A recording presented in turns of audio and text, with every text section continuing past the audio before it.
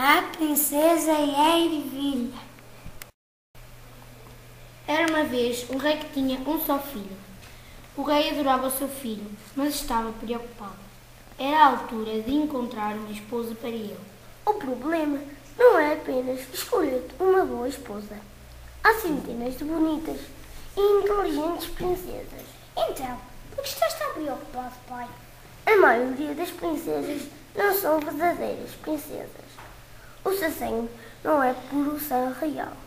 E na nossa família, os casamentos foram sempre feitos com princesas verdadeiras. Hum, bem, se é isso te aflige, não te preocupes. Estou certo de poder encontrar uma verdadeira princesa. Partirei hoje, mesmo à procura de uma verdadeira princesa. E nessa mesma tarde partiu o príncipe cheio de esperança. Montava um belo cavalo de crina dourada. Em breve atravessou a fronteira do pequeno reino onde nascera e entrou no país vizinho, a Silvânia. O rei e a rainha da Silvânia ficaram encantados por ver o príncipe. Tinham ouvido rumores de que o príncipe procurava uma noiva e por isso não perderam tempo e apresentaram-lhe a sua filha, uma jovem de olhos tristes e aspecto pálido. Ficará por uns dias, suponho. Talvez, mas primeiro diga: a sua filha é uma princesa verdadeira, de sangue real. Oh, sim! Isto é, bem, praticamente toda a sua família, exceto a sua avó, são de sangue real. Quem foi a sua avó? Bem, ela era a criada da rainha. O príncipe escondeu o seu desapontamento. Partiu pouco depois. Não podia casar com a neta de uma criada. Em todos os reinos que visitou, o príncipe ficou desapontado. Uma princesa tinha um nariz muito grande, outra era muito gorda, outra ainda tinha o cabelo encarapinhado e uma tinha uma voz esganiçada. Mas o mais importante, nenhuma era uma verdadeira princesa. Durante seis meses, o príncipe viajou por todos os lados, tentando encontrar a esposa que precisava. Mas todas as princesas que encontrou tinham algum defeito.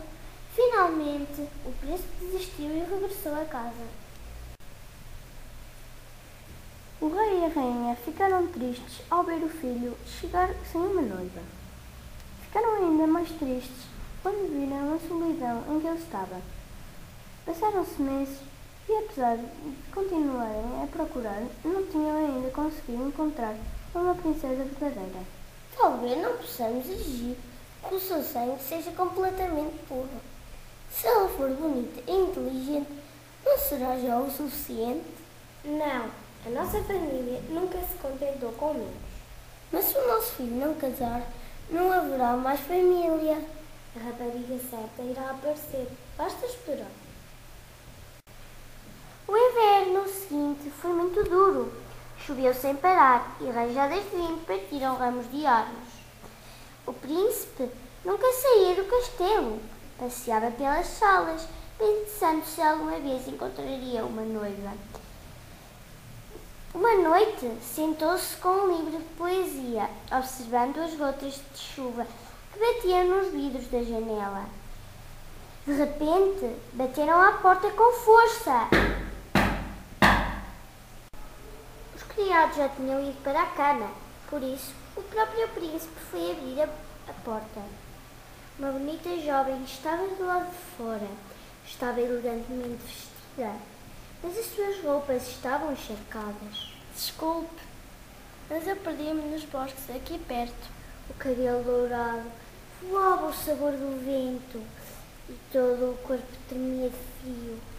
O príncipe olhou maravilhado para os olhos azuis cristalinos e sentiu-se verdadeiramente apaixonado. Quem és tu? A princesa de Sustron. Atravessámos o bosque quando a minha carruagem se voltou. O cocheiro está muito frio e a minha criada desmaiou. Por isso decidi procurar ajuda. Perdi-me na tempestade. Entra! Ele ajudou a princesa a entrar e amparou-a nos braços quando ela desmaiou. Chamou os criados, mandou-os procurar a carruagem da princesa para ajudarem os criados dela. Depois falou com os pais. Esta é a rapariga com quem quero casar. Veremos. Quando ela estiver melhor, eu mesmo falarei. Princesa de Sustra, foi o que ela disse? Hum.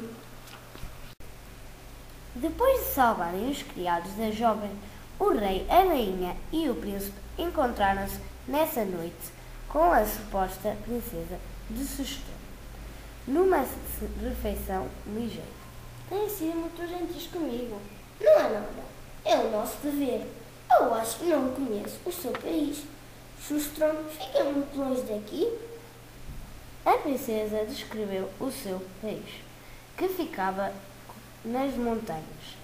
Respondeu a todas as outras perguntas que o rei lhe fez. Pouco a pouco, o rei ficou convencido de que ela era uma princesa verdadeira. O príncipe, esse, estava convencido há muito tempo. Ele estava tão apaixonado pela rapariga que nem tocou na comida. Mas a rainha não se convencera tão facilmente. Por isso, decidiu fazer uma experiência. Passará aqui esta noite? Seria um disparate tentar viajar com este mau tempo. Eu mando preparar-lhe um quarto. A princesa aceitou e a rainha dirigiu-se rapidamente para o quarto de hóspede. Ordenou que tirassem o colchão da cama. Depois pegou numa pequena ervilha e colocou-a no meio da cama onde a princesa iria dormir. Por cima da ervilha, ela ordenou que colocassem vinte dos mais fofos colchões de penas de gás. Veremos o que se irá passar. A noite passou e o dia seguinte amanheceu com um sol brilhante. A rainha levantou-se cedo para saudar a jovem princesa.